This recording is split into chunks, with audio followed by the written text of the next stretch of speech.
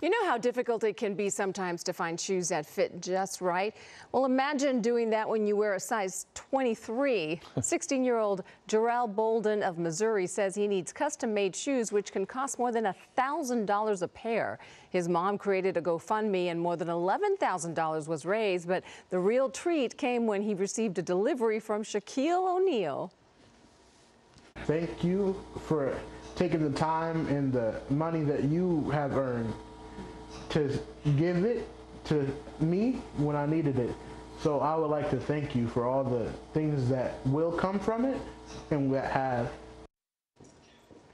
Shaq sent him three boxes filled with new clothes, mm. new hmm. shoes, and even some items from his own closet. Wow. Because Jorel's feet keep growing, he'll eventually need a size 24, and that's where GoFundMe donations will come in.